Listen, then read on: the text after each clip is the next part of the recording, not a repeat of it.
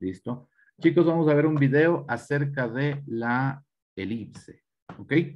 Vemos el video de la elipse y regresamos en breve porque quiero que entiendan algo. Ok, les decía, él estudió, Kepler estudió el movimiento de los planetas y él se dio cuenta que los planetas no giraban en manera circular alrededor del Sol, sino giraban formando una elipse.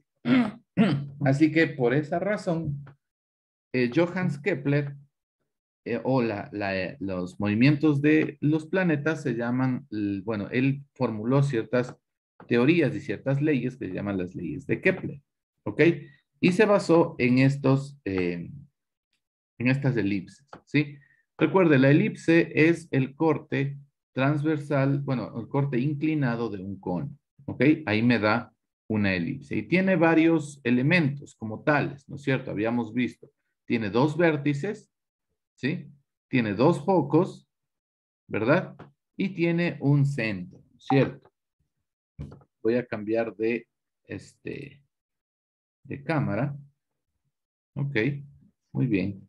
Y uh, Voy a fijar mi video porque no ha estado fijado mi video. Listo. Ok.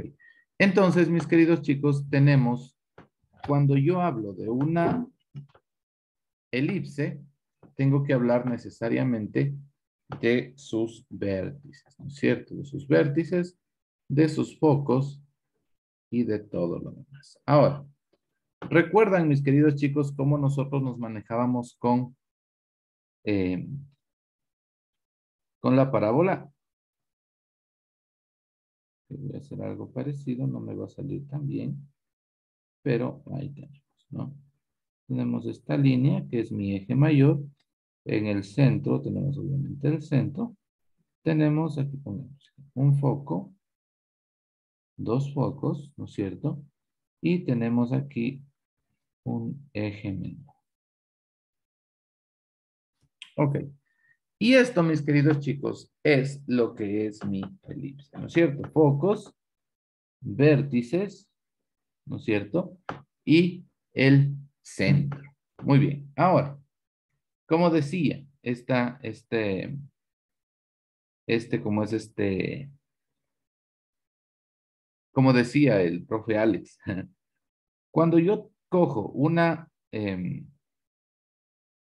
se me fue, una Mm, mm, mm, Una cuerda y la uno a los dos, a los dos puntos, a los dos focos y comienzo a trazar la elipse, me traza algo así, ¿cierto?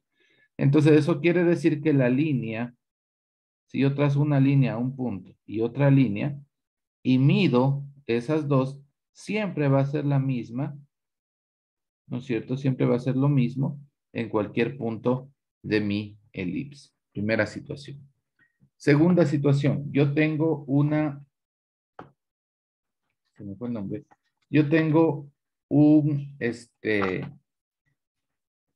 ya, yo tengo unos valores, ¿verdad? Dentro de mi elipse, dentro de estos valores yo tengo un valor de A, un valor de B y un valor de C, ¿no es cierto?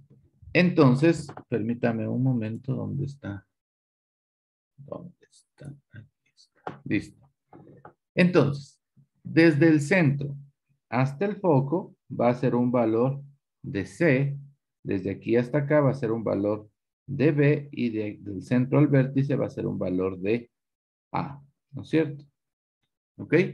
Que casualmente es el mismo valor desde el eje hasta el foco. ¿Ok? Entonces, la fórmula, mis queridos chicos, es la siguiente. Prestarame atención es x cuadrado sobre a más y cuadrado sobre b es igual a 1. Esto de aquí, chicos, es la fórmula de la elipse, ¿ok? Pero realmente esta fórmula tiene una variación. La variación es la siguiente. Este de aquí es cuando el centro está en el origen de coordenadas, ¿ok? Es decir, el centro es 0, punto y coma 0. ¿Ok? Entonces, mis queridos chicos, ¿qué pasa cuando yo no tengo ahí mi origen de coordenadas, cuando tengo el centro en X punto y coma, perdón, H punto y coma K. ¿Ok? Cuando mi centro está en H punto y coma K, entonces esta fórmula es X menos H al cuadrado sobre A más Y menos K al cuadrado sobre B es igual a 1. ¿Ok?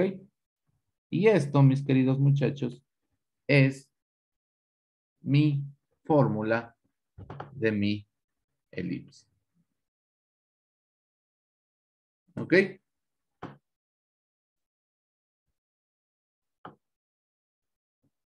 Muy bien, mis queridos chicos. ¿Alguna pregunta hasta ahí?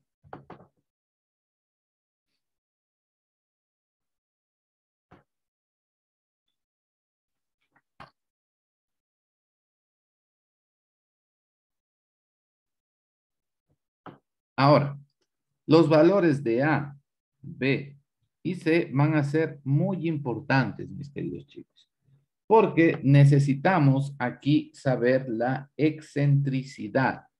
¿Qué es la excentricidad? La excentricidad aparece solamente en las elipses. La excentricidad realmente es un valor que me indica la forma que tiene la elipse. Hay elipses que son mucho más redondas que pueden ser así, o elipses que son mucho más achatadas, que pueden ser así. ¿Ok?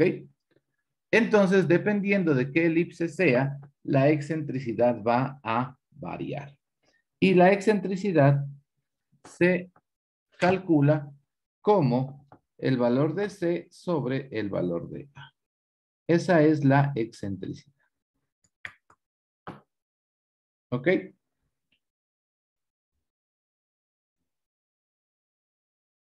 Dice. Dígame. El último nombre de la fórmula no le escuché bien cómo se llamaba. Ok, le escribo aquí. Excentricidad. Excentricidad. Ok. Les decía, la excentricidad me da un valor. Ya, la excentricidad me va a dar un valor y este valor me indica si es que la elipse es achatada, si es que es más circular, ok, de acuerdo a eso varía mi excentricidad. Listo, ¿alguna pregunta hasta ahí?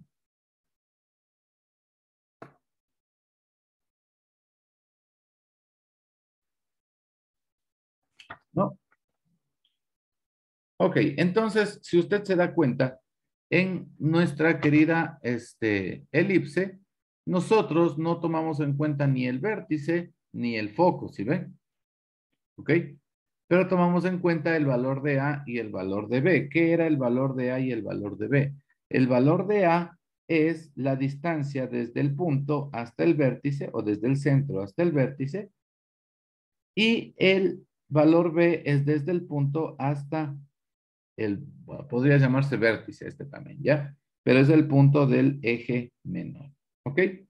Entonces, eso es mi, esos son los valores que tengo aquí y obviamente C es la distancia desde el centro hasta el foco, ¿ok?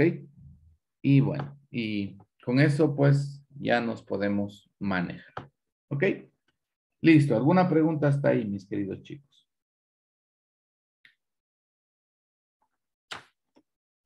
Ninguna. Ya.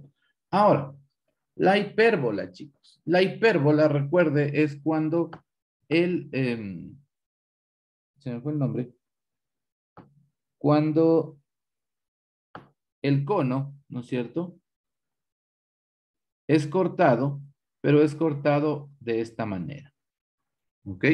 Eso, si yo le corto de esa manera, me va a dar un gráfico de esta naturaleza. ¿Ok? ¿Sí? Eso va a ser una hipérbola, chicos. Y la ecuación de la hipérbola es súper parecida a la de la elipse.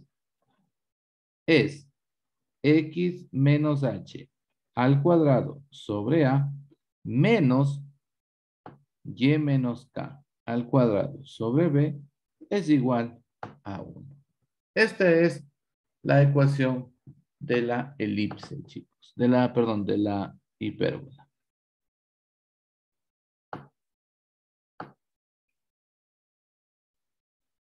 Dice.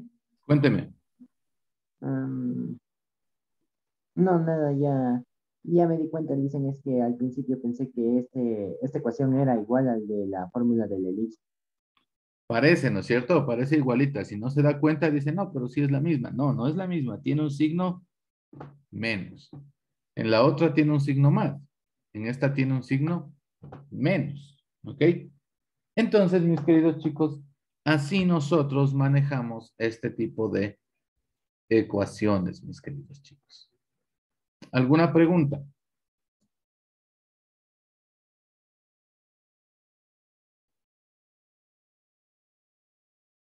¿Ninguna? En este punto, chicos, el centro de esta siempre va a estar afuera del gráfico. ¿Sí ve? Mientras la uno se va para acá, el otro se va para acá, el centro está aquí. Y obviamente aquí están los vértices y aquí están los focos. ¿Ok? Y ya. No hay mayor ciencia en este punto. Listo, chicos. Eso es todo con respecto a esta hora de clase. Nada más, chicos. Este, ¿qué hacemos? Nos vemos en 10 minutos para la clase de física. ¿Sí? Ya.